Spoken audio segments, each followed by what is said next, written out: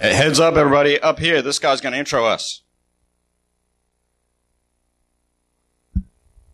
Good morning, everyone, and welcome to B-Sides 2020 in Tampa. Today's presentation will be Offensive Python for Pen Testers. And the presenters for today's presentation will be Jeff, Joff, apologize, Thayer, and Mike Felch. With no further ado, Joff and Mike. All right, see, that was easy. You go first, Mike. Sweet. Okay, cool. So um, we're going to talk about just how to use Python um, in kind of an offensive mode. Uh, and so as we kind of step through this, um, my thing's not working. It's not working. No, no, no. We got to get this to work. All right, stand by, everybody. There, There it it is. is. I don't know what happened. Okay, cool. So uh, I'm Mike Felch. I do uh, Vuln research, uh, exploit development stuff, um, reverse engineering, um, but I just do it um, more on the offensive side. And uh, so I kind of been with Black Hills for a while now, for a couple years, um, kind of in the red teaming and pen testing space uh, with Joff and a bunch of other uh, other people here. And so I got my start in about 1999, 1998 area, um, kind of from this thing that was like the Lost Underground. Like we don't even talk about it anymore. Nobody even knows about it anymore. Um, but it was kind of like real fringe, kind of underground internet stuff before there were like YouTube, right? So like Frack and some of the e-zines. So that's kind of where I came from. I don't really have much to talk about about myself, really. Okay, so there's quick intros. Now it's my turn. I'm Joff. Um, I do security research and dev work and mostly malware dev work these days uh, for Black Hills. Um, also do the Security Weekly thing on Thursday nights. Anybody a fan? There we go. All right. Hey, let's hear it for B-sides, by the way. You ready? B-sides, yeah! All right. So, also, I'm a certified SANS instructor for Sec 573, which is uh, what do we call it? Automating information security with Python. It used to be called Python for pen testers. That was so much easier. All right.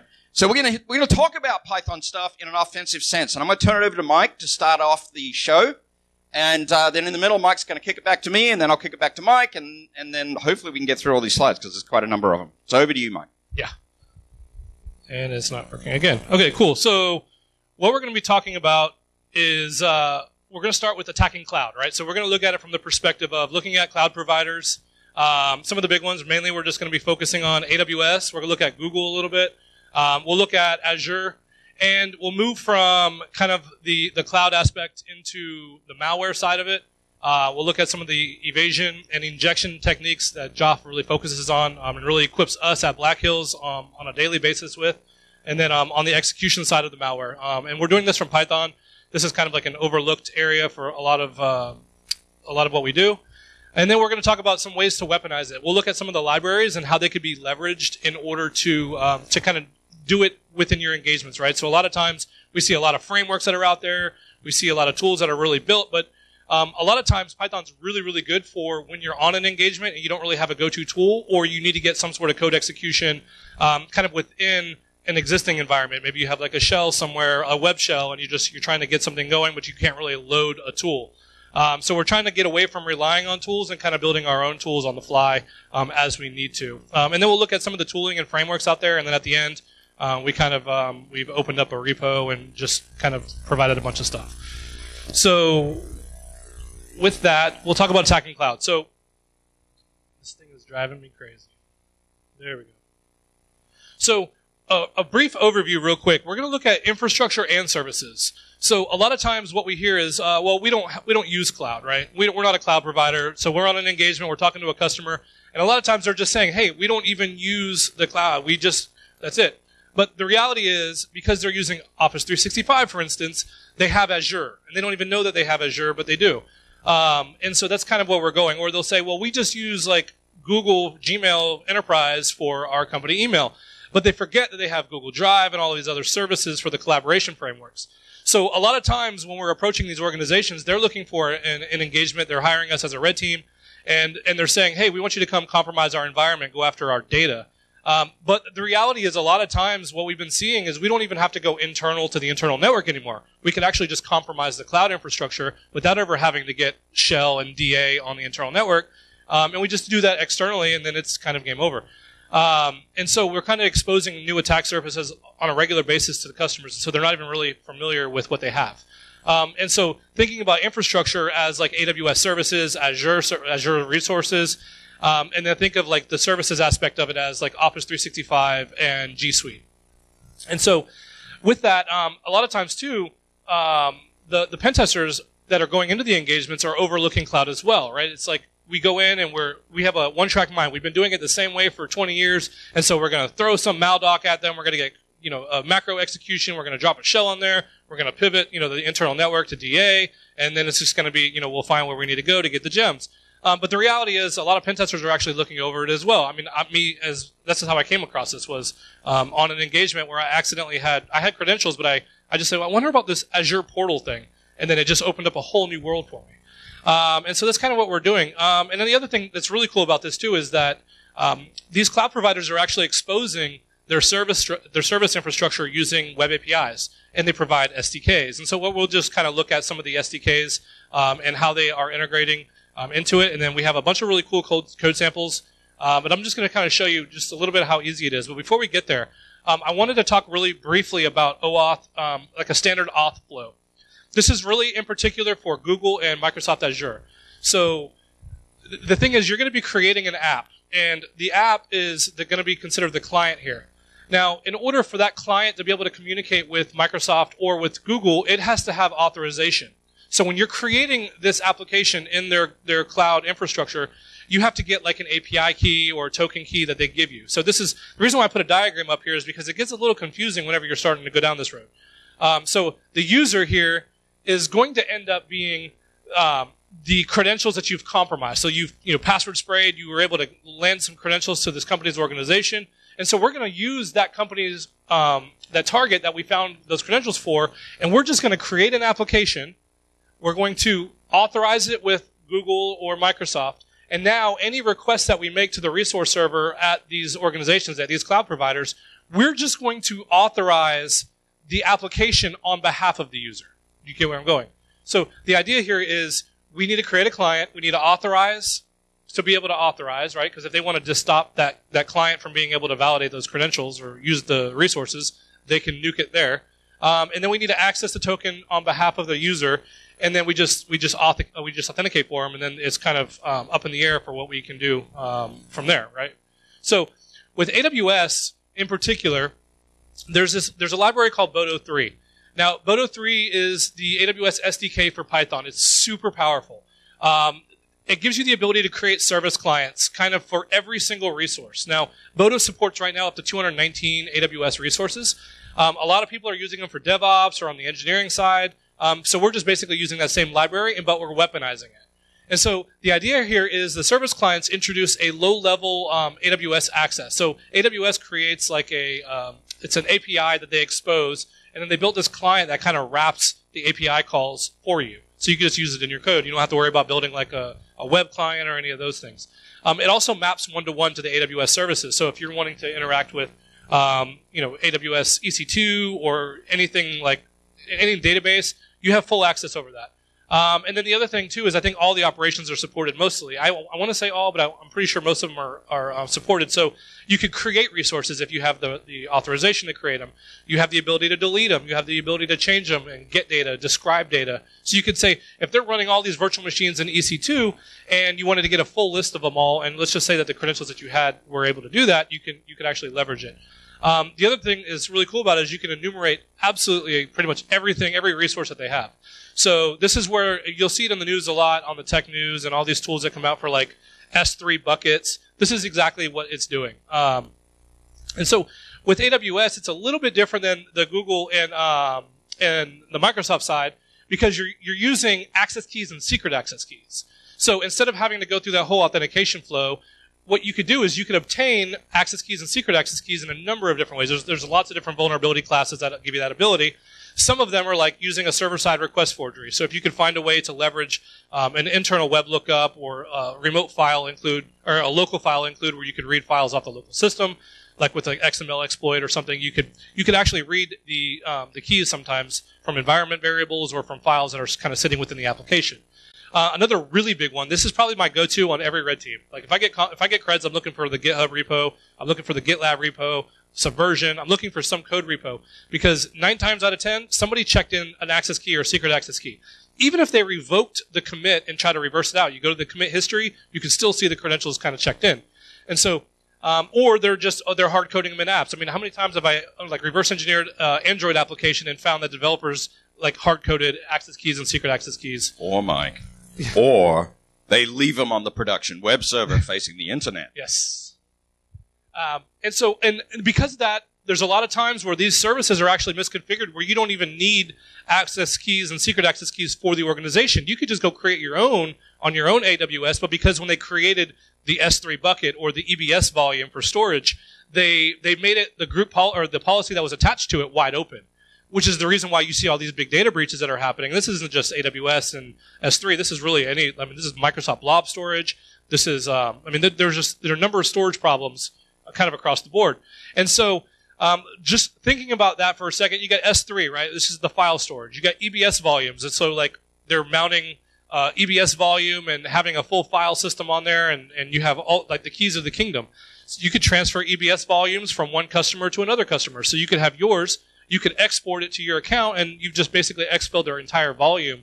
Um, and then Amazon will be really nice and remount it in your environment for you as long as it's within the same region. And so you have EC2, so you have your your compute. So all their servers that are running in there. Um, there's some there's some cool stuff that you can get. Um, from some of the metadata associated with that. You got queues. These are these are always overlooked for some reason. Um, Lambda. So if you wanted some um, code execution within um, their AWS instance, you could you can kind of do it that way. Um, but it kind of goes on and on. So just looking at a brief example here. This is just um, this is 23 lines of code without the spaces um, that I just slapped together really quick using Boto 3. And if you look at line 11, I'm pulling in the S3 and then what I'm doing is I'm basically just enumerating all of the S3 buckets. I'm enumerating all of the files in the buckets, and then I'm saying, hey, does this file match whatever I passed into my query? So if I wanted to pass in like the word password, I could search all of their S3 buckets, all of their files in their S3 buckets for the, for the files that I care about. And all I had to do is have an access key and a secret access key. Um, and it, and in this case, it didn't even have to be within their environment. It could have been mine if their environment was misconfigured. Um, and so sometimes you have read only, but sometimes you have read write. If the group policy on that um, on that bucket's messed up, you could write to it. So now imagine planting backdoors and it, being loaded. Um, there's just a number of things uh, besides data that you could actually do um, kind of with it. And so the other really cool thing with AWS is there's this thing called Secret Manager. The Secrets Manager manages exactly what you would think, right? Passwords, SSH keys, um, you could actually plant binary files in there. And this is a, a, very trivial, it's another enumeration. It's only 32 lines, but this just really demonstrates um, the ability to be able to, to enumerate the secrets manager, check to see if it's a string, and then if it's a string, just dump that key value pair out. Because that's all it really is, is a key value pair. Now, Amazon happens to rotate the encryption for you on a regular basis, but if your access key and secret access key that you found has access to it, then you're able to read those secrets kind of out of there and um, and be good, or binaries as well. So I had some ideas about planting binaries in there, and then maybe reading it from the inside um, for like uh, just kind of planting. But um, so Google, Google's a little bit different. Um, you'll notice here, if anybody's a developer on the Google side, is I'm, I'm, mentioning the OAuth 2 client. I think they're deprecating it, but I love this one. This is the one that um, Bo and I use this all the time.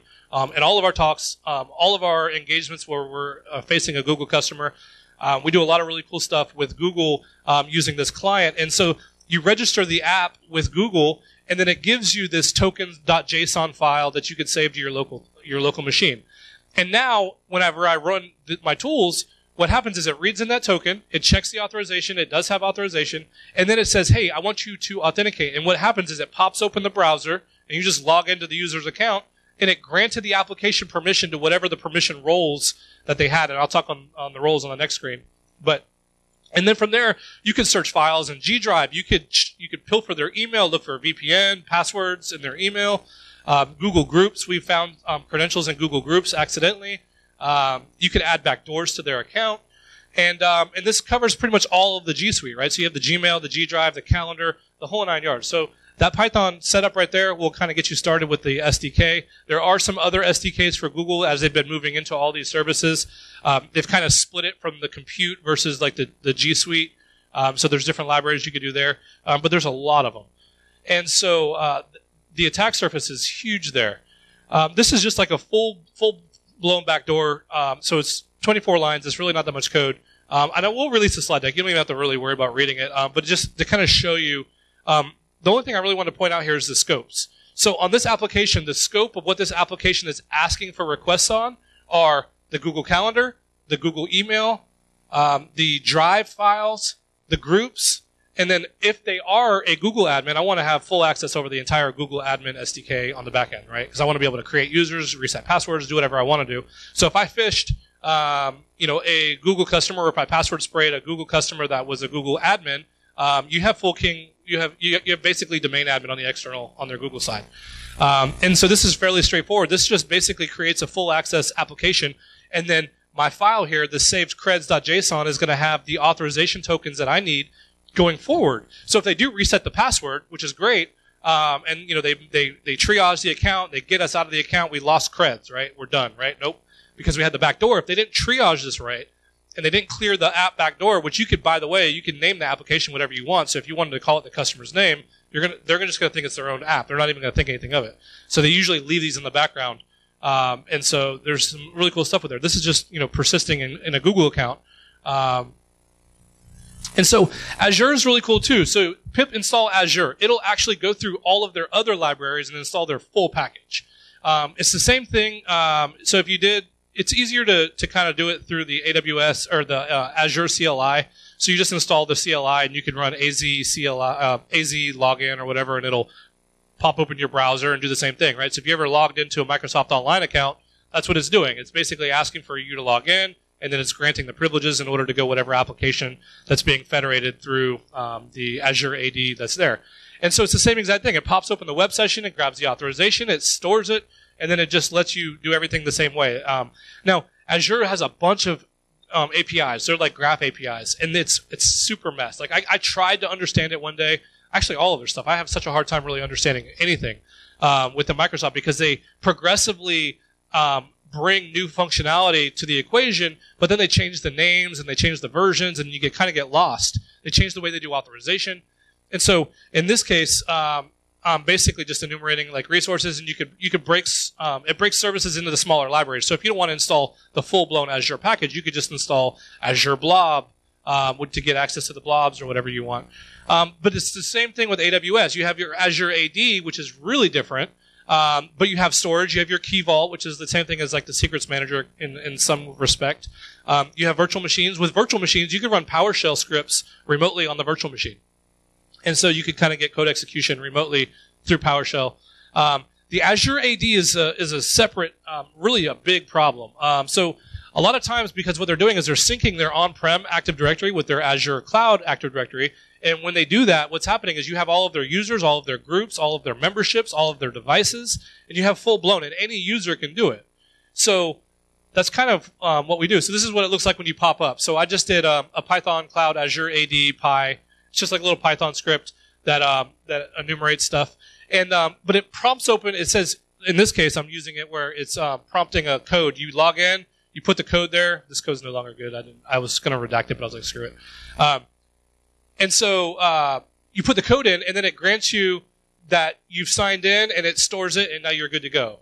And so from there, um, this is just enumerating users, groups, devices, memberships, SPNs. You could do all of it. It's not doing that in this code. This is just doing the users. But um, so think about that for a second. If you're password spraying and you get one account that you've successfully password sprayed on a company that's using Azure AD, and you use that one credential, you could grab all of the groups, all of the memberships and everything. So now you know, well, I know they're domain admins or these people. Um, here are all the users. Now I can do a full spray, a password spray or a password attack. Um, but it also gives you new attack surfaces too, because um, one thing that I don't have up here is applications. So if you think about Azure AD, it's authorizing applications that are external to the network to use the credentials for single sign-on and the federated services or whatever it is that they're trying to approve for authorization. So a lot of times those applications that are approved, you could pull those application lists and find completely new attack surfaces for in, in like um, internal applications or third party services.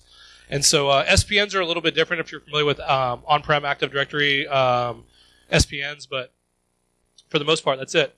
Um, and this is going to be a little freebie. So this is um, not Python, but if you do successfully compromise a credential for somebody that's using like Office 365 or somebody that has Azure, all you have to do is pivot over here to um, to the portal.azure.com, log in as that user, and you can pretty much see everything in a nice user interface. The really cool part about this is they can disable your access on the interface, but the command line access they can't do unless they turn on conditional rules.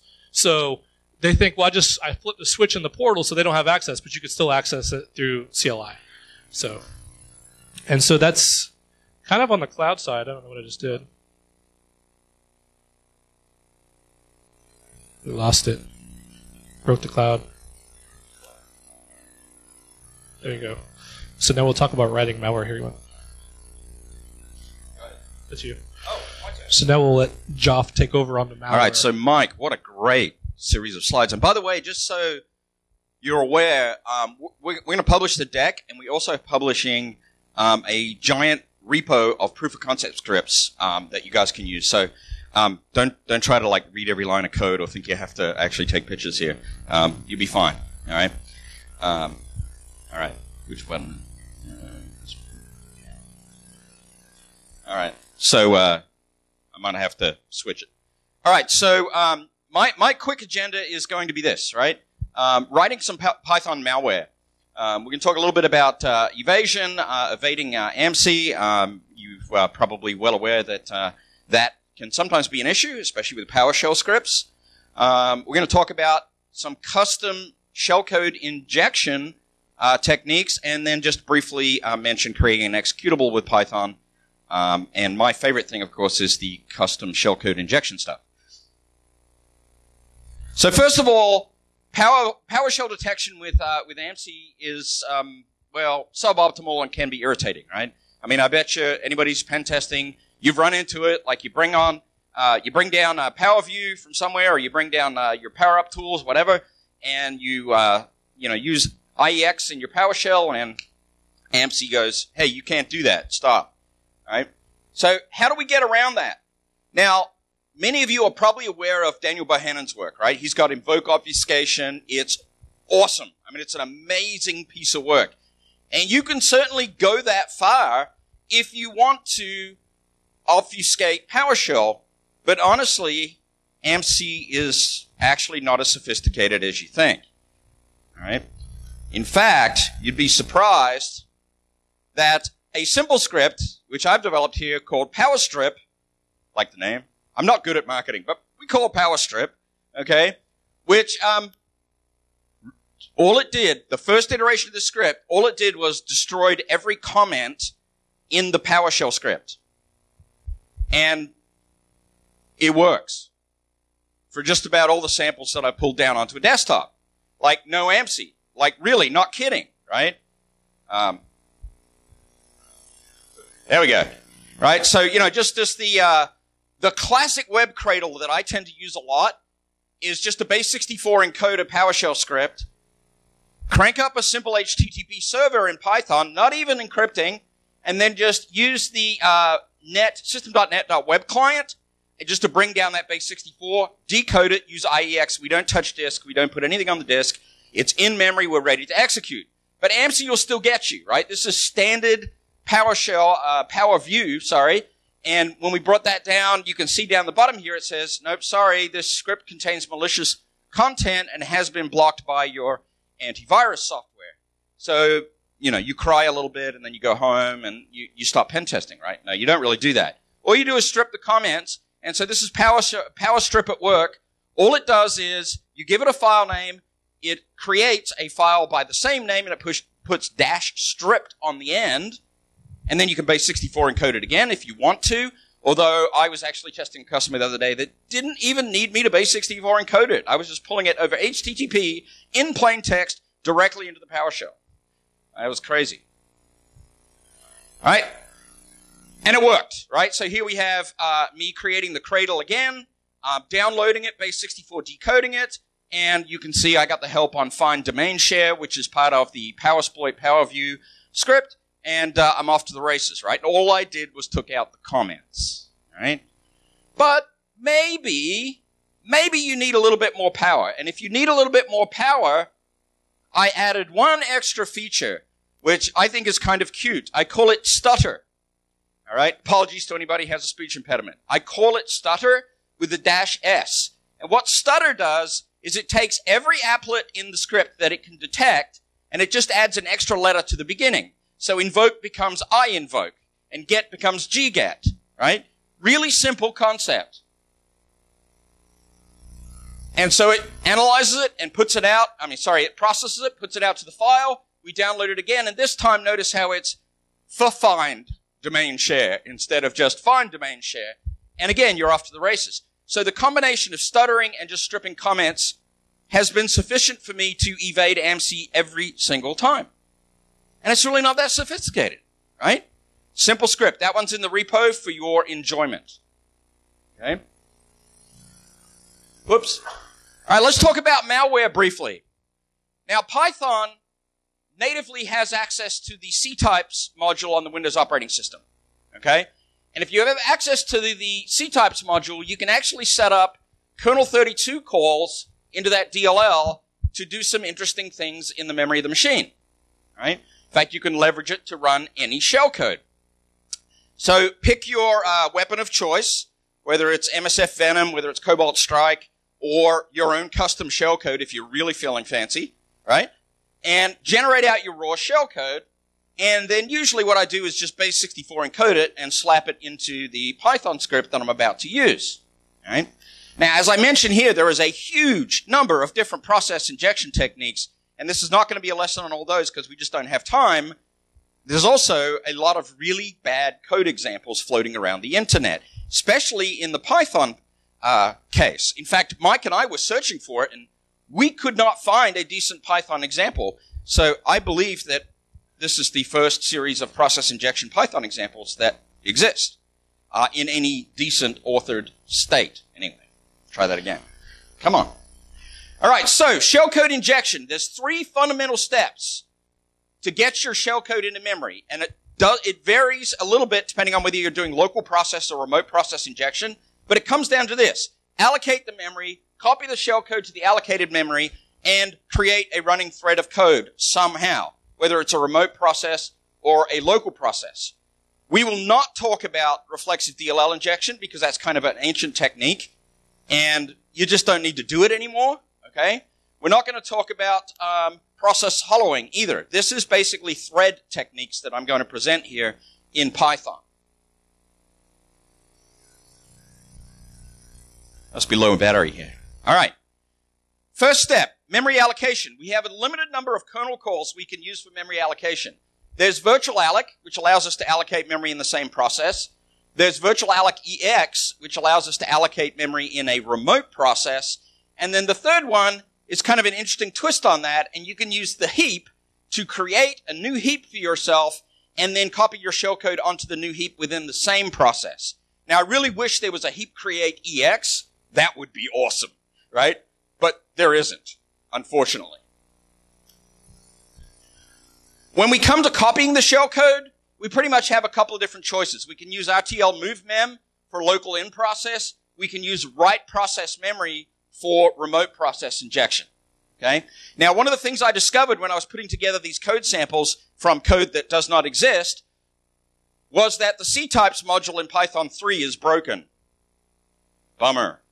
How is it broken? It does not allow you to copy shellcode into memory if the shellcode has null characters in it. Now I know what you're all thinking. You're going, oh, I've got the encoders, right? I can just use the encoders. Well, yes and no.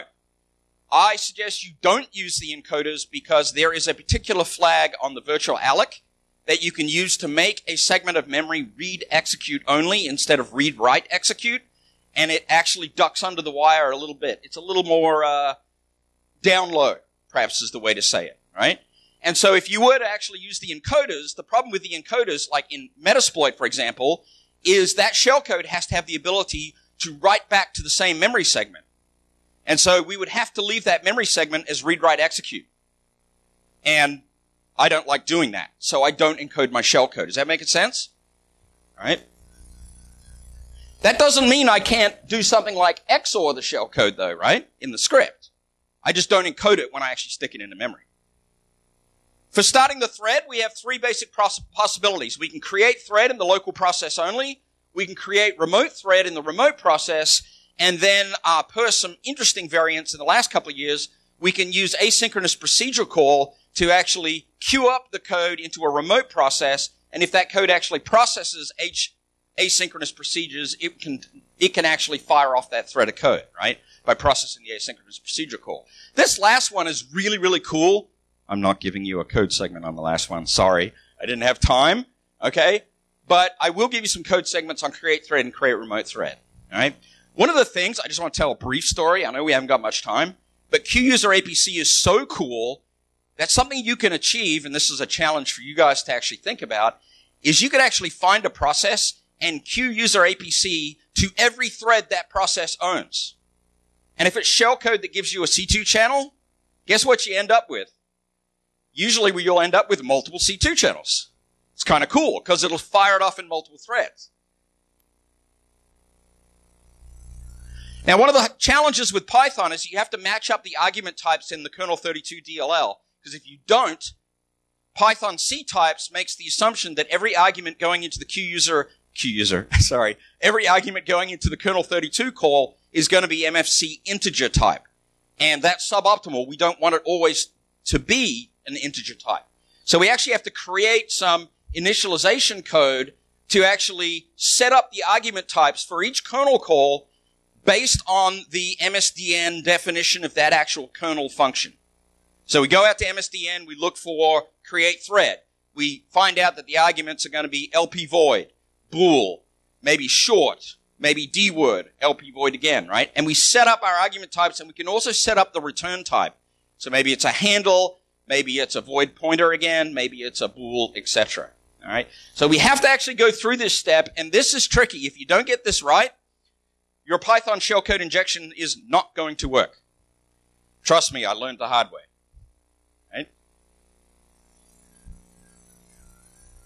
Here's an example of injecting code into the same process. It really is this short once you have defined the argument types.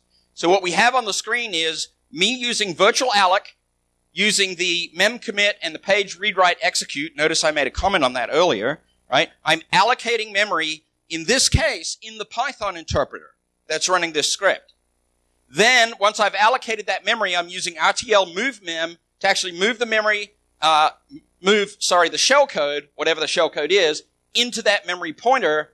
Then notice how I used virtual protect to reprotect the memory segment as read execute. And this is my way of ducking under the wire a little bit because read execute is less obvious than read write execute in terms of the kernel calls that your process is going to make. Okay. Now, this, where does this apply? Uh, anybody uh, running like a Sentinel One or a Cylance, right? This is the type of product that may be able to detect that you've got a read write execute. So we want to duck under the wire. We want to retag it as quickly as we can. Then we're going to use create thread in the same process. It will spin up that shellcode thread and you're off to the races. You've just simply created another thread in the Python process and your shellcode's executed. All right? If you don't believe me, I'm going to do a demo in just a minute. What about remote process injection? Well, the first thing about remote process injection is you have to find a process that you want to host your code in. Python has a module called psutil, which is actually fairly handy for looking for processes on a Windows system. So if we import psutil, we can write ourselves a little function that actually goes out and searches for interesting candidates to inject shellcode into. Well, one of my favorites is something that you guys all know about. It's our favorite process called servicehost.exe. Why? Because svchost.exe is something that always is initiating network connection. So if there's a C2 channel coming out of an SVC host.exe process, your defenders are probably not going to be able to find it. They're like, which one is it? Right? They don't know. So we can create this little Python routine and all this is doing is listing all the processes and then it's going through this candidate list and looking to see if the current username owns the process and the process is named servicehost.exe it adds it up to the candidate list, and then I actually pick a random PID from the candidate list after I finish looping. Now that's an extra little bit of obfuscation because what I need to do there is not just pick the very first servicehost.exe because, well, that's going to be a little obvious. I should pick one at random, right? So I'm doing a little bit of a random choice here. I keep doing that. I got to change the slide. For remote process in- injection steps, I couldn't put the code on the screen, but this is one way to do it. We're going to use open process once we locate the process to grab the process handle. We're going to use virtualloc EX to allocate the memory for the shellcode. We're going to use write process memory to write that shellcode into, into memory. And then again, we're going to come back with virtual protect EX to retag the memory back to read execute only. Okay. Then we're going to create the remote thread. And after that, frankly, we can free up the memory and close the handle and that process will happily now host your shellcode. And awesome, right? You're running. Now, let's, let me do a quick demo before I cover this slide. I want you to understand that this thing actually works. So here we have, have a innocent victim Windows box, i.e. the box that I pick on with myself all the time, right? And we're going to run my little demo script called pyinjector.py. Now, my uh, demo script uh, is something that is programmed in with three different techniques for shellcode injection. Technique number one is to use virtual alloc in the same Python process. Technique number two is to use heap alloc and then, sorry, heap create and then heap alloc to create the shellcode in a heap. And technique number three is to find a process that the user owns and use create remote thread to uh, stick the shellcode into that remote process. Now I have a little bit of, uh, some reason it wants me to change my settings there. Okay, so let's try it. Now, you know how live demos go? Really well most of the time, right? No, the shell code that I've got here is actually shell code that injects a calculator command into uh, into the um, cmd.exe and just pops a calculator, right? It's it's MSS Venom straight up. Windows slash exec cmd equals calc.exe. In the 64-bit case, it's Windows slash x64 slash exec cmd equals calc.exe. So this script is actually capable of doing architecture detection as well. And that's actually important because especially when you're finding remote process, you need the ability to find a process that matches the architecture of the shellcode that you're going to run. All right. Now, who doesn't need a calculator? Ready? Option one, virtualloc. Calculator. Woo! All right. Option two, heap alloc. Calculator. Woohoo! Hey, I'm winning on two out of three. Now let's see if the remote process injection will actually work. All right. Close my calculator. I really wanted to do the QUser APC version that injects into multiple threads, but I didn't have time. Option three, find a process that the user owns and use create remote thread. Calculator. Woohoo! All right. And the process it found, servicehost.exe, opened the process handle, allocated the memory, wrote 276 bytes of shellcode in there, and started a calculator. That code is available to you in the repo. All right? So you have some process injection code.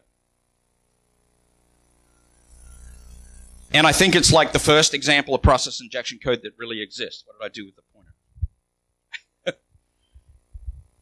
now, the next thing you're going to ask me is, you know, customers don't have a Python interpreter happily sitting on their endpoint, right? I mean, what are you going to do? You're going to call up the customer and go, excuse me, um, I'm about to run a phishing campaign and we've got a Python script here, and do you mind actually using a GPO to push a Python out around the environment? And the customer's going to go, no. Okay, so phishing campaign dead. What about uh, installing Linux subsystem? What about installing the Linux subsystem? That is a possibility, actually. Good thought. I didn't think about that. One option you have, five minutes, is PyInstaller. PyInstaller is not bad. PyInstaller goes out, it grabs the Python interpreter, it analyzes the script, it looks for all the dependencies, that that script has, it wraps them all up into one self-extracting executable, and then you can drop that executable on the customer's environment and run it, presuming they don't have app whitelisting. Oh, bummer. What if they have app whitelisting? Well, you can get into the world of Iron Python. We don't have time to actually talk about that today, but ultimately, if you can deliver payloads that are DLL assemblies, you're always going to do better because then you can use tools like MS Build, install util, those kind of things to live off the land and load your DLL assembly directly in those tools. Right? I'm going to throw it back to Mike, and we're almost out of time. Go, Mike. All right, cool. So we'll just look at some libraries real quick. We only got a couple minutes left. So um, these are these are pretty cool libraries. Um, we use them on a regular basis. Um, some of them. Uh, the first one is Socket. It's just standard. Comes with Python. Um, you can build a C2 out of it. You could you know, do DNS stuff. Um, port scanning. There's an Nmap wrapper called Python lib Nmap. Um, I like it, but you could also just do live port discovery by you know trying to make a socket connection to the port on the host, and it'd be fine there. Um, if you're looking to do any packet manipulation stuff, so wanting to deal with actual packets, um, Scapy is great. You can construct packets, you could inspect packets. There's all kinds of stuff. Um, and then there's uh, PCAP interactions. So you've probably seen them in a lot of CTFs. If you do the CTF, like they'll give you a PCAP file and you're trying to figure out something to do with it. Um, so PCAP is a good one. Uh, live host discovery is ping three. It's just a pinger. Um, it's kind of cool. Um, network protocols, M packets, like the best of the best. I mean, you use it for everything from I can't even get into it. There's every protocol, Samba, um, and then for any exploit development. So if you're trying to run shellcode like on a remote thread or trying to do some sort of fuzzing on a remote system, Pwn Tools is really great for that. So on Windows, there's uh, the PyWin32. So if you're wanting to interact with the Win32 API, that's a great um, great library to be able to do that to. Uh, he mentioned C types already for the DLL or any of the shared library stuff that you're trying to do. Um, if you're wanting to pivot um, on networks and one run code remotely, um, there's a number of pivots. Um, you could do WMI, you could do WinRM, all the uh, PowerShell remoting stuff. There's good libraries that give you the ability to kind of integrate that into your shell script or into your Python script in order to kind of execute, execute code on remote machines. Um, and so web and cloud, there's Shodan, obviously. There's a Shodan library that you can kind of integrate it right into your app. Um, web requests, request is great. I'm going to skip most of this because um, attacking um, the new single page apps, right? The hipster frameworks that like Requestium is amazing, right? I mean, you get all these JavaScript apps, these single page apps that run JavaScript and generate sessions, and you, it stinks because you use a request library, but it's not triggering the JavaScript. Requestium actually wraps Selenium in requests. And so it gives you the ability to kind of do that and then interact with it, grab the session data, and then transfer it to your request library to make like API calls or whatever you want to do.